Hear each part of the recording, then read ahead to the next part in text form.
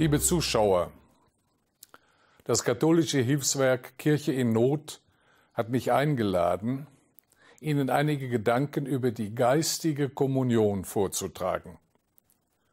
Gern komme ich dieser Einladung nach, denn es gibt manche Gründe, sich dieser mentalen Begegnung mit dem Herrn zu erinnern. Vor allem im Zusammenhang mit der Problematik durch die wiederverheiratet Geschiedenen. In den letzten Jahren hat auch in der katholischen Kirche die Zahl derer merklich zugenommen, die ihre Ehe für gescheitert erachten. Sie möchten eine neue Verbindung eingehen. Unter ihnen regt sich dennoch wohl das Sehnen, bei der Feier der Eucharistie im Sakrament den Leib des Herrn zu empfangen. So widmete unser Papst Franziskus diesem Drängen im Februar 2015 ein öffentliches Konsistorium mit den Kardinälen der Kirche. Während der Zusammenkunft war es Kardinal Kasper, der die theologischen und pastoralen Elemente der Problematik darlegte. Seine Referate zielten darauf, wiederverheiratet Geschiedene unter bestimmten Umständen zum Empfang der heiligen Kommunion zuzulassen. Obwohl in Frageform vorgetragen, versuchte er darzulegen, dass wiederverheirateten Katholiken das Essen des Leibes Christi eventuell erlaubt sein könnte. Während der anschließenden Diskussion warf ich ein, dass sich solche Einräumung über den Buchstaben und Geist der neutestamentlichen Offenbarung hinwegsetze. Nicht nur einmal lehre ja Gottes Wort die Unauflöslichkeit der Ehe.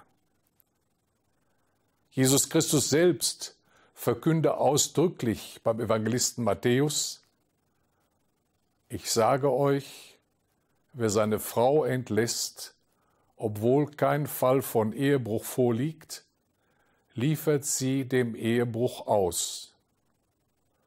Und wer eine Frau heiratet, die aus dem Ehebruch entlassen worden ist, begeht Ehebruch. Ich fügte bei meinem Einwand hinzu, diese Anweisung des Herrn wäre bis zum vierten Jahrhundert ausnahmslos beachtet worden. Und sie bestimme bis heute die kirchenrechtliche Ordnung des Kommunionempfangs. Der Vorstoß Kardinal Kaspers würde darum unserer Glaubensgemeinschaft eine Quadratur des Kreises aufnötigen. Ja, solche Zulassung übersteige letztlich überhaupt die Autorität der geweihten Hirten, weil sie sich doch fraglos nach der Heiligen Schrift zu richten hätten. Noch heute vertrete etwa der protestantische Exeget Ulrich Lutz die katholische Deutung des Herrenwortes setze die Absicht Christi am besten um. Ohne Zweifel ist den wiederverheirateten Geschiedenen neu unsere Aufmerksamkeit zuzuwenden. Auch mir war daran ganz klar gelegen. Man muss ihre Not aufnehmen. Darum verwies ich bei meiner Intervention auf eine alte Form der Christusbegegnung, die geistige Kommunion. Diese religiöse Übung brachte seit der frühen Christenheit über Jahrhunderte den Glaubenden Trost und Nahrung für ihre Gottverbundenheit. In jüngster Zeit ist sie ein wenig in Vergessenheit geraten und wird im heutigen Katechismus der katholischen Kirche nicht einmal erwähnt. Ihr Verschwinden ist sehr bedauerlich. Hinsichtlich der uns aufgegebenen Problematik interessiert besonders das Kirchenrecht. Und es zeigt sich, dass es gar nicht zuständig ist. Das Kirchenrecht kann also für die geistige Vereinigung mit dem Herrn keinerlei Barriere errichten. In den Augen von Kardinal Kasper fand meine Anregung allerdings keine Gnade. Nach der ausführlichen Diskussion im Kollegium erwähnte er nur kurz das Stichwort geistige Kommunion, lehnte aber den Vorschlag schlicht und einfach ab. Der Referent wollte halt eine neue Praxis. Das Erwähnen der geistigen Kommunion würde dann seine Argumentation schwächen. Die Sehnsucht wiederverheirateter Geschiedener, den Leib des Herrn auch materiell zu empfangen, hatte eben für ihn ohne Alternative zu bleiben. So stellte er nur einfach fest, wer zum leiblichen Empfang der Eucharistie nicht zugelassen ist, der ist auch nicht würdig, ihn geistig zu empfangen. Doch hier, liebe Zuschauer, irrt der Theologe Kasper. Denn kirchliches Recht einerseits und die geistigen Vollzüge des Herzens, das sind zwei total verschiedene Schuhe. Recht darf ja beim Menschen immer nur äußerlich Greifbares tun und lassen beurteilen. Es kann nicht in die Seele des Menschen schauen und nimmt dies auch nie für sich in Anspruch. Diese Einsicht beachtet selbstredend auch die Kirche. Auch sie gilt darum, um es klassisch zu sagen, de internis non judicat judex auf Deutsch, ein Kirchenrichtler, ein Kirchenrichter kann nicht die seelische Haltung beurteilen. Derselbe Grundsatz bestimmt auch die Worte Papst Benedikts XVI. Beim, beim Welttreffen der Familien in Mailand im Juni 2012 stellte er die Sache klar. Er wurde nach der Möglichkeit einer Christusbegegnung von wiederverheirateten Geschiedenen gefragt. Seine Antwort Wir können uns ohne den leiblichen Empfang des Sakraments durchaus mit Christus in seinem Leib geistig vereinigen. Auch die wiederverheiratet Geschiedenen können in der geistigen Kommunion einen Weg finden, ein Leben des Glaubens zu führen mit dem Wort Gottes und mit der Gemeinschaft der Kirche.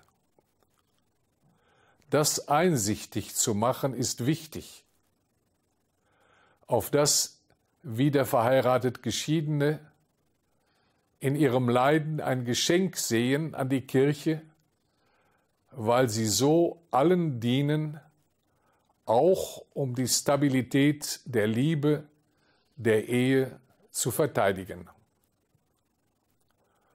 Und dass dieses Leiden nicht nur eine körperliche und eine psychische Qual ist, sondern auch ein Leiden in der Kirchengemeinschaft für die großen Werte unseres Glaubens.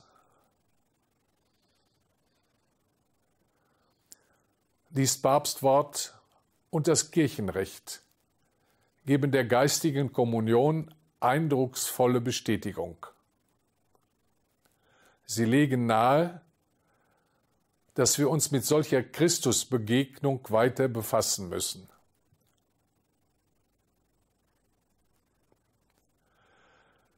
Wer für die geistige Kommunion, das heißt für die gedanklich-mentale Weise der Hinwendung zu Christus eintritt, muss wohl zunächst Gottes Art seiner Erlösung beachten.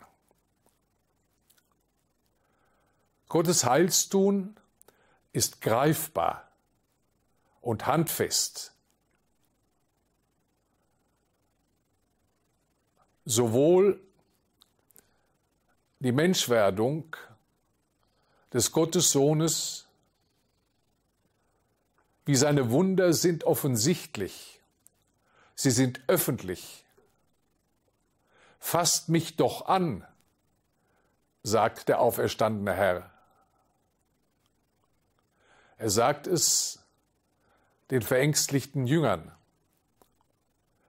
Kein Geist hat Fleisch und Knochen, wie, sie, wie ihr es an mir seht, so schreibt Lukas. So ist auch das Tun der Kirche auf Elemente unserer sinnlichen Wahrnehmung verwiesen, auf Worte, die man hören kann, auf Zeichen, die man sehen kann.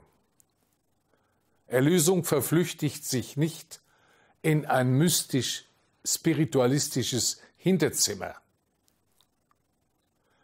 Aber die Greifbarkeit des Heilswerkes kann keineswegs eine undifferenzierte Gleichsetzung von außen und innen für den Menschen behaupten. Hier liegt der Pferdefuß von Kardinal Kaspers Replik an mich. Intention und Aktion fallen beim Menschen nicht notwendig zusammen. Wieder hilft uns das geoffenbarte Wort Gottes. Es widerspricht solcher Ungenauigkeit. Der Völkerapostel Paulus, er benennt für uns Christsein, dass unsere Christusverbundenheit auf beiden Ebenen von außen und innen verwiesen ist.